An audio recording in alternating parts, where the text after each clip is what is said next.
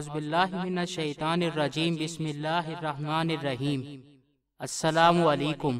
دوستو، مولانا اشرف علی تھانوی رحمت اللہ علیہ، عالم اسلام کے نامور عالم، مصنف اور مبلغ تھے۔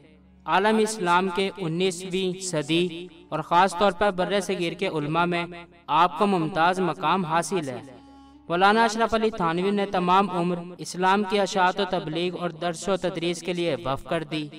آپ نے اردو، عربی اور فارسی میں آٹھ سو سے زیادہ تصنیف اور رسائل تحریر کیے، جن میں تفسیر بیان القرآن، اعمال قرآنی احا سنن، امداد الفتاوہ بہشتی زیور اور مسال اقلیہ حیات المسلمین جزا العمال اصلاح الرسوم قابل ذکر ہیں۔ دوستو، آج کی ویڈیو میں ہم مولانا اشرف علی تھانوی رحمت اللہ علیہ کی زندگی کے بارے میں جانیں گے۔ واللہ عالم اللہ بہتر جاننے والا ہے۔ ہمارے ساتھ بنے رہیں تو چلیں شروع کرتے ہیں۔ اگر آپ نے ابھی تک ہمارا چینل سبسکرائب نہیں کیا تو ابھی سبسکرائب کریں اور بیل آئیکن کو کلک کر کے ہماری لیٹسٹ ویڈیوز کے بارے میں اپڈیٹ جانیں۔ سبسکرائب کیجیے اور ہم آپ کو لیے چلیں گے آپ کی فیوریٹ ویڈیو کی طرف۔ فرینڈز بارہ ربیع اول بارہ سو اسی ہجری انیس مارچ اٹھارہ سو تریسٹھ عیسوی اشرف علی بن عبدالق فاروقی ممتاز عالم دین اور صوفی ہندوستان میں تھانہ بھون ضلع مظفر نگر میں پیدا ہوئے۔ بعض روایات کے مطابق تاریخ پیدائش پانچ ربیع الثانی ہے۔ بچپن ہی سے دینی علوم کی طرف مائل تھے۔ ابتدائی تعلیم میرٹھ میں ہوئی۔ حافظ حسین علی دہلوی سے قرآن مجید حفظ کیا۔ پھر تھانہ بھون آ کر مولانا فتح محمد سے عربی اور فارسی کی کتابیں پڑھی۔ پھر دیوبند پہنچ کر باقی نصاب کی تکمیل مولانا منفت علی سے کی اور فارسی زبان میں پورا عبور حاصل کیا۔ بارہ سو پچانوے میں دارالعلوم دیوبند میں داخل ہوئے اور تیرہ سو ایک ہجری اٹھارہ سو چوراسی عیسوی میں یہاں سے فارغ التحصیل ہو کر کانپور کے مدرسہ فیض عام میں تدریس کا کام شروع کیا۔ وہی مدرسہ جامعہ العلوم قائم کیا۔ تیرہ سو ایک ہجری، اٹھارہ سو چوراسی عیسوی میں ہی حج بیت اللہ کیا اور حاجی امداد اللہ مہاجر مکی رحمت اللہ علیہ سے بیت کی۔ تیرہ سو سات ہجری، اٹھارہ سو نوے عیسوی میں دوبارہ حج کے لیے تشریف لے گئے اور کئی ماہ اپنے مرشد کی خدمت میں رہے۔ واپس لوٹنے کے چند سال بعد، تیرہ سو پندرہ ہجری، اٹھارہ سو اٹھانوے عیسوی میں عمر بھر کے لیے تھانہ بھون میں سکونت پذیر ہو گئے۔ اس گوشہ آفیت میں بھی طالبان ہدایت نے آپ کو تنہا نہ رہنے دیا۔ ہندوستان کے ہر گوشے سے لوگ پروانہ بار آئے اور اس چشمہ ہدایت سے فیض حاصل کرنے لگے۔ لوگوں کی آمد کا یہ عالم تھا کہ حکومت نے قصبہ تھانہ بھون کے لیے ایک مستقل ریلوے اسٹیشن بنا دیا۔ مولانا کو حکیم الامت اور مجدد الملت کے القابات سے یاد کیا جاتا ہے۔ آپ کے علمی و دینی فیوز و برکات متنوع ہیں، وہ قرآن پاک کے مترجم ہیں، مجدد ہیں، مفسر ہیں، علوم و حکم کے شارہ ہیں، اس کے شکوک و شبات کے جواب دینے والے ہیں۔ وہ محدث تھے، فقیات خطیب تھے اور شریعت و طریقت کے مجادلے کا خاتمہ کرنے والے تھے۔ مسلح امت تھے۔ ان کی تصنیف میں خاص کے لیے تفسیر بیان القرآن اور شرح مصنوی مولانا روم اور عورتوں کے لیے بہشتی زیور ایسی گرا بہاں ہیں جو اپنی مخصوص نوعیت کے اعتبار سے اردو کے اسلامی ادب میں اپنا جواب نہیں رکھتی۔ مولانا کی تصنیف کی تعداد آٹھ سو کے قریب ہے۔ تیرہ سو چون ہجری، انیس سو انتالیس عیسوی میں ان کے خادم مولوی عبدالحق فتح پوری نے ان کی تصانیف کی ایک فہرست شائع کی، جو بڑی تختی کے چھیاسی صفحات کو محیط ہے۔ تصنیف کی تعداد کے لحاظ سے وہ امام ابن جریر تبری امام فخر الدین رازی حافظ ابن جوزی اور حافظ جلال الدین سیوتی کے زمرے میں شامل کیے جا سکتے ہیں۔ مولانا کی بیشتر کتب اردو زبان میں ہیں۔ البتہ تیرہ یا چودہ رسائل و کتب عربی اور تین فارسی زبان میں ہیں۔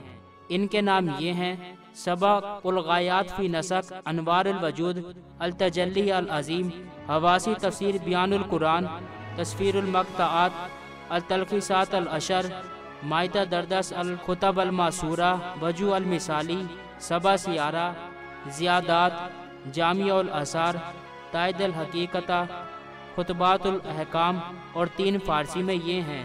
مصنوی زیرویم، تعلقات فارسی، عقائد بانی کالج۔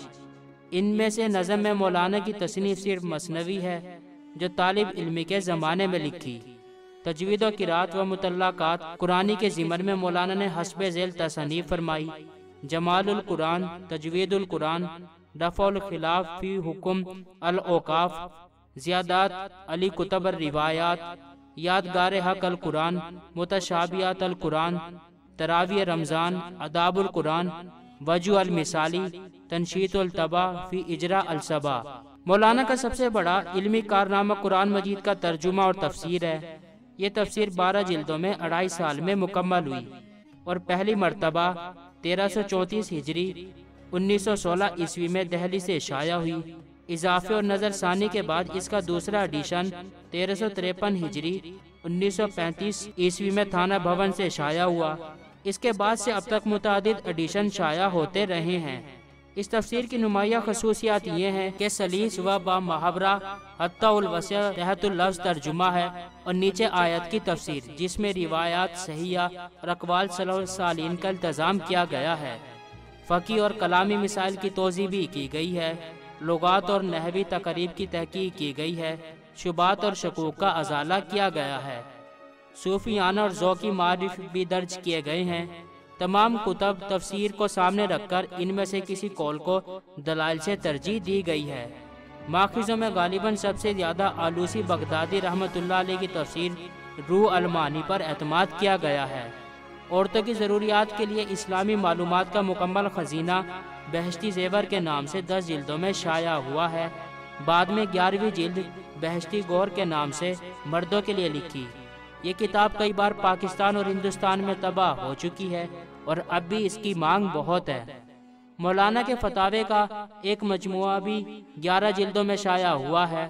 دیگر بے شمار کتب، تفسیر، احادیث، منطق، کلام، عقائد اور تصوف پر ہیں۔ مسلمانوں کی اصلاح و تربیت کے لیے بھی آپ نے بے شمار کتب تحریر کی۔ ان میں اصلاح رسوم، صفائی معاملات، اصلاح امت اور حیات المسلمین اہم ہیں۔ وفا سے کچھ عرصہ قبل آپ کو میدے اور جگر کی تکالیف نے آجز کر رکھا تھا۔ آخری دنوں میں بھوک بالکل ختم ہو گئی تھی۔ اور بالآخر چھ رجب تیرہ سو باسٹھ ہجری نو جولائی انیس سو ترتالیس عیسوی میں اس جہاں فانی سے کوچ کر گئے۔ آپ نے دو نکاح کیے تھے جن میں سے کوئی اولاد نہ ہوئی۔ چنانچہ آپ کی تصنیفی آپ کا وہ قیمتی ورثہ سمجھی جاتی ہیں جن سے ہر مسلمان استفادہ کر رہا ہے۔ اللہ تعالیٰ آپ کی قبر پر کروڑوں رحمتیں نازل فرمائے اور آپ کو اپنی جوار رحمت میں جگہ دے۔ آمین۔ دوستو، میں ہوں آپ کا ہوسٹ دوست عظیم الظفر اور آپ دیکھ رہے ہیں ازمی وائس۔ دوستو، آج کی ویڈیو کے بارے میں آپ کی کیا رائے ہے؟ کمنٹ باکس میں اپنی رائے کا اظہار ضرور کیجیے گا۔ دوستو انشاءاللہ اب ہم اپنی نیکسٹ ویڈیو تک کے لیے نئے خواہشات کے ساتھ آپ سے اجازت چاہیں گے۔ خوش رہیں خوشیاں بانٹیں۔ جئیں اور جینے دیں۔ اپنا اور اپنے چاہنے والوں کا خیال رکھیے۔ لانگلی پاکستان لانگلی پاک آرمی۔ اللہ ہم سب کا امی و ناصر ہو۔ فی امان اللہ۔ گڈ بائے دوستو یہ ویڈیو آپ کو کیسی لگی؟ اچھی یا بری؟ اپنی رائے کا اظہار کمنٹ باکس میں ضرور کریں۔ تاکہ ہمیں پتہ چل سکے ہم جو محنت کر کے ویڈیوز بنا رہے ہیں۔ آپ کو پسند بھی آ رہی ہیں یا نہیں ویڈیوز کو لائک کمنٹ یا شیئر کرنے کے آپ کے بالکل بھی پیسے نہیں لگیں گے۔ البتہ ہماری حوصلہ افزائی ضرور ہوگی۔ اور اگر ویڈیو میں کوئی خرابی ہے تو ہم اس کو دور کر پائیں گے۔ شکریہ۔